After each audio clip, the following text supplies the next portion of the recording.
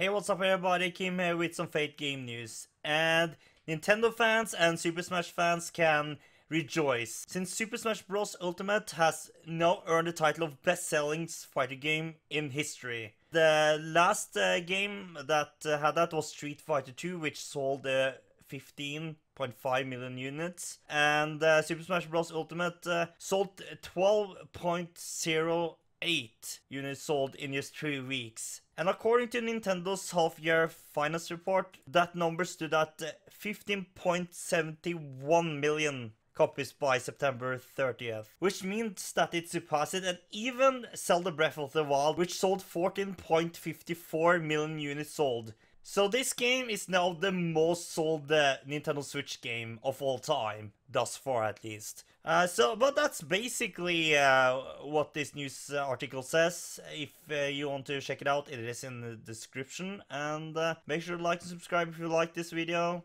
And see you guys next time with some more game news.